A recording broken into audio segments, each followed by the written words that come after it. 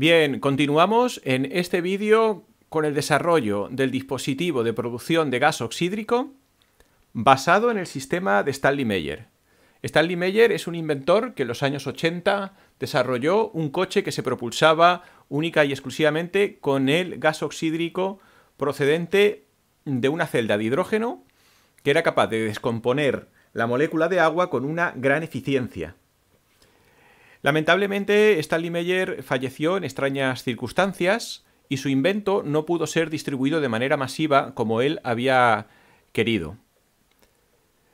Afortunadamente, las patentes siguen en Internet y hay otros inventores que las han recogido, las han desarrollado, las han simplificado y han ofrecido todo ese conocimiento para que toda persona que lo, que, ella, que lo desee replicar pueda hacerlo sin necesidad de pagar ninguna patente. En un vídeo anterior vimos el desarrollo de la celda en sí, de la celda tubular. Y en este vídeo lo que vamos a adentrarnos es en cómo se desarrolla la parte electrónica. Hay que decir que se han desarrollado diferentes circuitos electrónicos. Stanley Meyer tiene uno, que era el que utilizaba y está en su patente, que se puede encontrar en Internet. Y después ha habido inventores que han desarrollado otros circuitos diferentes eh, optimizando y simplificando el diseño de Stanley Meyer. Lo que vamos a ver es una visión general de lo que es el circuito, que en realidad no se trata de un circuito excesivamente complicado. Está formado por, en primer lugar, un generador de frecuencias, cuyo circuito vais a poder encontrar eh, con más detenimiento en el blog y voy a dejar el enlace abajo para aquellas personas que deseen más detalles sobre este sistema. El generador de frecuencias eh, está compuesto por componentes muy fáciles de encontrar. Se trata de dos componentes 555 y después unos, eh, unos potenciómetros y un circuito con algunos diodos. Es decir, todo ello material muy económico y muy fácil de encontrar hoy en día. Eh, la segunda parte del circuito y es aquí donde hay variaciones, ya que se puede hacer de varias formas. Nos vamos a centrar en este vídeo en el diseño que realizó el ingeniero Rabi, que fue una de las personas que desarrolló, digamos, el invento de Stanley Meyer y lo simplificó. Eh, Rabi lo que nos propone es una serie de circuitos que están compuestos por unas bobinas bifiliares. Estas bobinas las deberíamos construir nosotros con un núcleo de ferrita y un bobinado sencillo de 100 vueltas con cable común que podemos encontrar del grosor adecuado. Tenemos que decir que este diseño no es un diseño terminado y está abierto a modificaciones y mejoras que cada persona quiera realizar. Como podemos ver en el circuito, eh, nos detalla eh, todos los parámetros para construir el toroide, para construir los bobinados. Y no es tampoco un diseño excesivamente complicado, aunque sí laborioso. No son piezas que podamos comprar ya fabricadas, por lo tanto las tendremos que fabricar nosotros mismos. Las medidas exactas y las especificaciones de todo este diseño lo vais a poder encontrar en el blog.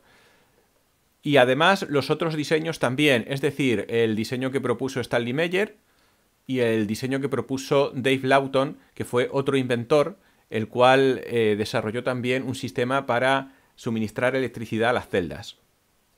Tenemos que decir que cada una de estas bobinas bifiliares, como podemos ver en la imagen, va a ir conectada a los tubos, siendo la parte externa del tubo la parte positiva y la parte interna del tubo eh, la parte negativa.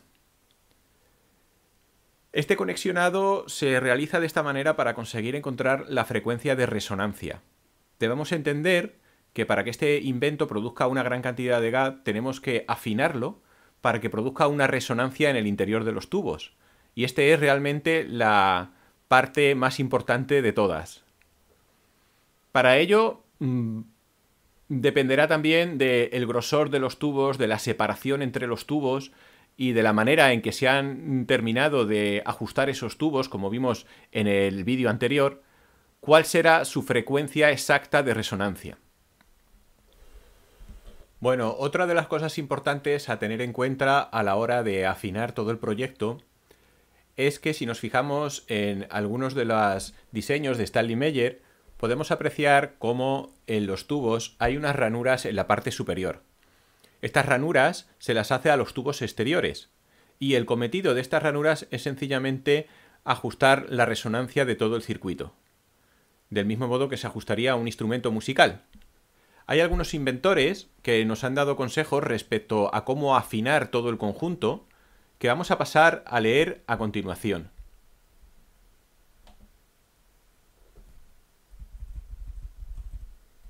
He duplicado el trabajo de Stanley Meyer y he conseguido varios avances. En primer lugar, durante el ensamblaje del generador he descubierto que es preciso afinar los tubos a la misma frecuencia. Lo hago con un simple afinador de guitarra. Simplemente únalo al tubo y hágalo vibrar con un pequeño martillo de bronce. La forma más fácil para cambiar la frecuencia es siempre el tubo exterior. Hágale una muesca, como hizo Stanley Meyer, luego oscílelo con alto voltaje. El agua resuena a 926 kHz y se disocia a ese nivel. Antes de condicionar el generador, brevemente modúlelo en seco a sacudidas de 5 segundos, con unos 2 minutos entre cada sacudida durante unos 10 minutos. Debería conseguir oírlo zumbar y con un oído práctico diferenciar si algún conjunto está fuera de la frecuencia requerida también añadí una bobina toroide para producir para hidrógeno. El tamaño del tubo se determina por el diámetro de la celda, pudiendo ser 4, 5 o 6, pero el hueco óptimo entre los tubos debería ser siempre entre 0,045 y 0,060. Trate de mantenerlo lo más bajo posible dentro de estas medidas. Se tarda por lo menos de 2 a 3 meses en condicionar los tubos y no añado el toroide hasta el final del ensamblaje. Y trato de mantener un hueco de 0,8 pulgadas desde la parte superior de los tubos al toroide. Bien, eh, tenemos que tener en cuenta el acondicionamiento de los tubos que se debe hacer una vez hayamos conectado eléctricamente. Y como acabamos de ver, es un periodo largo de tiempo, entre varios meses, y requiere de un proceso que Ravi detalló en, en su patente y nos lo explica con todo lujo de detalles para que lo podamos hacer paso a paso. Se trata de un proceso largo, el del condicionamiento, y eso lo vamos a explicar en un próximo vídeo. Bueno, en la descripción de este vídeo voy a dejar mm, varias formas de colaborar con este canal y si se consigue que bueno, haya suficientes donaciones, entonces podré replicar esto que estoy haciendo, esto que estoy explicando aquí de manera teórica, lo podré realizar de manera práctica para daros mucha más información. Bueno, y por último, hay que comentar que Ravi también desarrolló algunos inventos que no funcionaron, algunos circuitos que no llegaron a funcionar, y estos circuitos también los podéis encontrar en, en el blog para que no perdáis el tiempo intentando replicarlos por vuestra cuenta. Bien, recapitulando lo que hemos visto hasta ahora, realmente solamente nos faltaría ya el acondicionamiento de los tubos, que es la parte más larga. Ya hemos visto cómo se debe fabricarse la parte eh, del generador, de los tubos en sí, con todas sus medidas. Después la parte electrónica, que no es una parte muy, muy complicada. Estamos hablando de un circuito sencillo con eh, componentes baratos. Y después de unas bobinas y unos toroides que deberemos bobinar nosotros mismos, pero que no representan una excesiva dificultad a la hora de fabricarlos. El último paso, después de hacer todo esto, sería eh, el acondicionamiento de los tubos, que consiste en sumergirlos en agua e ir aplicando pequeñas cantidades de amperaje durante un tiempo determinado. Y progresivamente iremos subiendo el amperaje.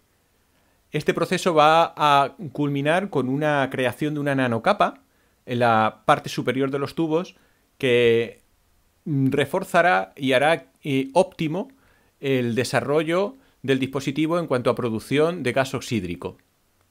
Este proceso es relativamente complejo y sobre todo muy laborioso, ya que se tarda mucho tiempo en conseguir esta nanocapa. Entonces lo vamos a ver en un próximo vídeo y este lo dejamos ahora de momento hasta aquí. Así que nada, nos vemos en un próximo vídeo.